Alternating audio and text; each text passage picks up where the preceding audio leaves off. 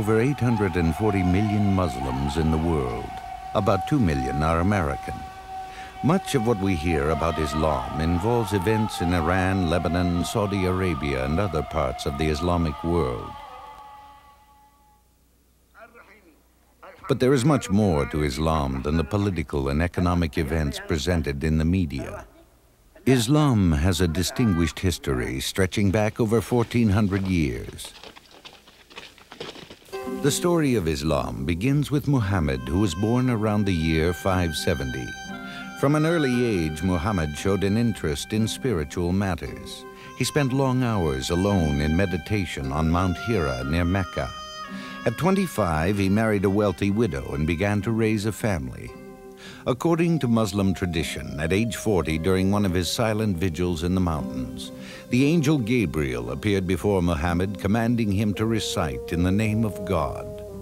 Thus began a long series of revelations which are now embodied in the Muslim scripture known as the Quran. In place of the numerous gods recognized by many Arabs of that time, Muhammad declared that there was but one supreme God. The Arabic word for God is Allah. Muhammad said that the basis of his teaching was the religion of Abraham. According to the Quran, Muslims are descendants of Abraham's son Ishmael while Jews are descendants of Abraham's other son, Isaac. But Muhammad believed the Jews had strayed from the religion of Abraham and that Christians had distorted the teachings of Jesus. Muhammad believed he had been called to lead all men back to the truth of the one eternal religion, which he called Islam, or submission to the will of God. A Muslim, then, is one who submits to the will of God. The word Islam has both a literal and religious meaning. The literal meaning, it means peace. And the religious meaning, it means submission to the will of God, a total submission to Allah, the God, the only one. Muhammad, as a prophet, worked at spreading this message in Mecca for 10 years. As opposition to his teachings developed, Muhammad and his followers were forced to flee Mecca for Medina, which came to be known as the city of the Prophet. The move to Medina in 622 AD marks the beginning of the Muslim calendar, much as the birth of Christ does for Christians. In Medina, Muhammad gained a wider following, and it was there that Muhammad revealed God's law in greater detail. Islam emphasizes only five obligations, known as the five pillars of Islam. The first is the Shahada, or profession of faith, which should be repeated several times a day. There is no God but Allah, and Muhammad is his prophet.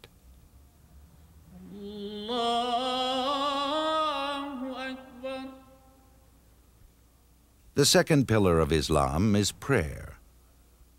A lot of people ask, why do I have to pray? And what is the function of prayer? We Muslims, or Islam says, that beside the spiritual function of prayers, it has psychological, it has social, it has physical functions. We stand in one line to pray from the janitor to the president or from the janitor to the king. Five times a day, the call to prayer rings out from the minarets of mosques throughout the Muslim world, calling the faithful to turn toward Mecca to pray.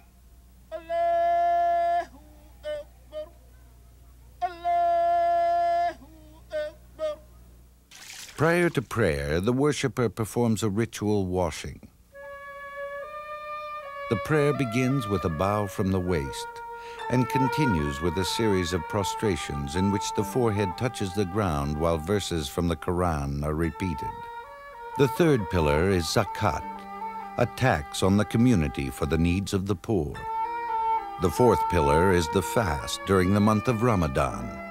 Every adult Muslim in good health is required to go without food and drink from dawn to dusk during Ramadan, the month in which the Quran was revealed. The pilgrimage to Mecca or Hajj is the fifth pillar of Islam. Every Muslim with enough money to make the trip is expected to go to Mecca once. For many people from distant lands, this pilgrimage may be the greatest event of their lives. The full ceremony of the Hajj lasts several days. In Mecca, one of the rituals involves circling the Kaaba, the most sacred site in Islam. If possible, the pilgrims kiss the black stone meteorite embedded in the corner of the Kaaba. It is a journey an individual has to take from wherever he lives all around the world to one place which is called Mecca. This place, which is the city and the house of God, which was built by Prophet Abraham. May Allah blessing be on him. After Muhammad had established his leadership in Medina, he persuaded the Meccans to surrender without a fight in 630. Muhammad united most of the Arab world under his political rule and under the religion of Islam. In Islam, there is no clear separation between church and state. Islamic law comes directly from the Quran and from documents describing what Muhammad said and did in his life. Therefore, government and religion overlap in Islamic nations.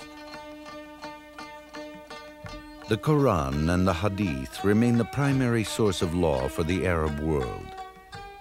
The sayings of the Prophet of Islam are called Hadith, which in Arabic simply means saying.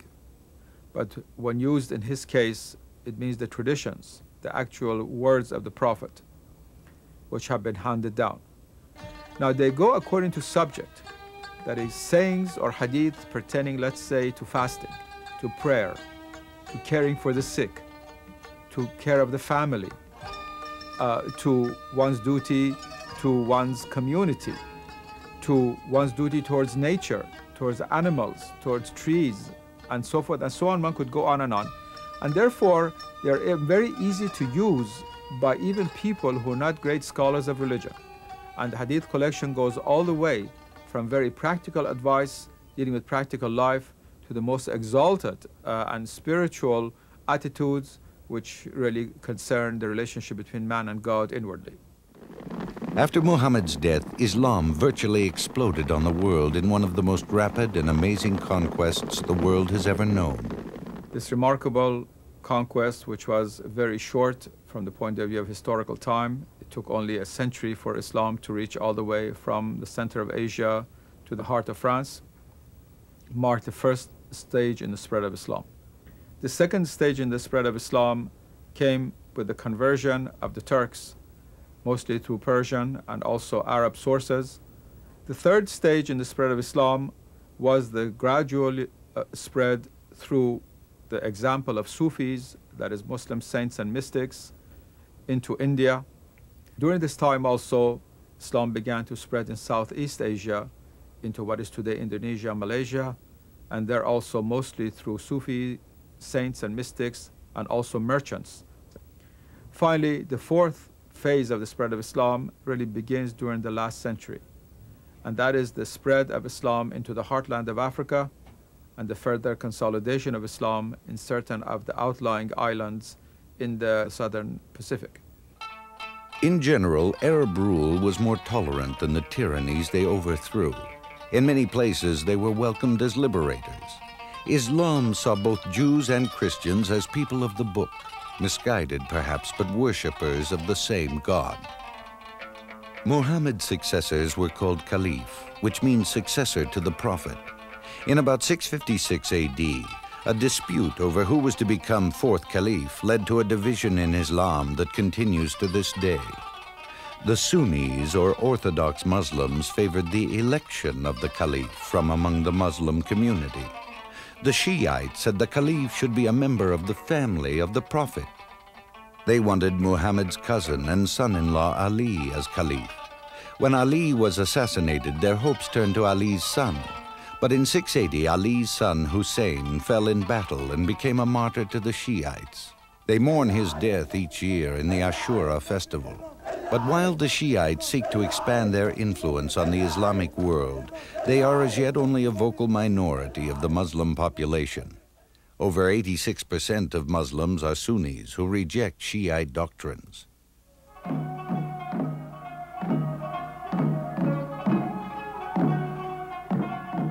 Both Sunnis and Shiites may belong to another group known as the Sufis. The Sufis follow a mystical path within Islam. Perhaps the most famous of the Sufis are the whirling dervishes of Turkey. Between 640 and 700, Islam continued its expansion as Arab armies rode across Asia and North Africa. In 711, they conquered Spain.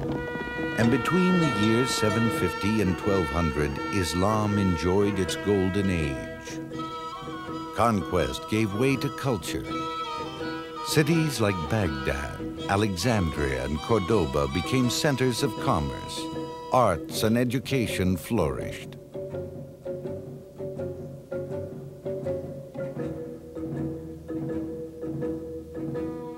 Muslim mathematicians introduced the Arabic numerals we use today.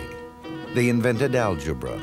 Libraries, hospitals, mosques, and palaces became the landmarks of Islamic culture. But slowly the Golden Age withered and the Arab Empire began to crack. Tyrannical leaders in Baghdad found it difficult to control territories hundreds of miles away. Christian Europe sensed turmoil in the Islamic world. And over a period of 500 years, a series of crusades were launched in a failed effort to reclaim the Holy Land. The European Crusades were still in progress when a new and far more dangerous threat to Islam thundered down from the plains of Central Asia. In 1258, Hulagu Khan, the grandson of Genghis Khan, led his Mongol hordes into the Middle East. The Mongols captured Baghdad, the jewel of Islam, and murdered most of its 500,000 inhabitants. In Spain, Islamic reversals continued. And in 1492, seven and a half centuries after their arrival in Spain, the last Muslim king surrendered to the Catholic monarchs Ferdinand and Isabella. Out of the ruins left by the Mongols in the Middle East rose a Turkish leader named Othman, who began the process of rebuilding. By 1683, all of the Islamic lands from Algeria to southern Russia and through much of Eastern Europe were united under the Ottoman Empire. And by the mid-17th century, the Ottoman Empire was in decline. Meanwhile, European power was growing rapidly. Scientific and industrial advances gave the European nations military superiority over the Muslim world. And between 1798 and 1919, the world of Islam was carved up into colonial estates by France, Russia, Great Britain, and Italy. By the 1920s, Arab rule was limited to the vast central deserts of Arabia, where Islam had its beginnings. As a result of World War II, most Arab states obtained independence. But it wasn't until 1962, when the French pulled out of Algeria, that the colonial presence finally came to an end. For the Arabs, however, the Jewish state of Israel, founded after World War II, represents the continued European colonization of the Arab world. Like Jews and Christians, Muslims consider Jerusalem their holy city. Two of their most sacred shrines are found there the Dome of the Rock, and the Al-Aqsa Mosque. Several wars fought since Israel's founding in 1948, an occupation of more and more Arab land by Israel have made the situation seem even worse. In the United States, immigration from Muslim countries has brought Islam to American cities and towns, where mosques have appeared in increasing numbers. Today, the world of Islam is caught in the tension between those who want to progress along Western lines and fundamentalists who feel that if necessary, revolutions must re-establish strict Muslim traditions.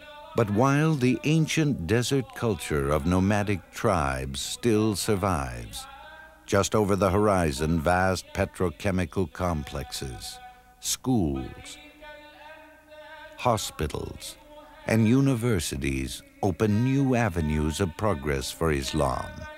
And still from the minarets comes the ancient call that millions answer with their prayers.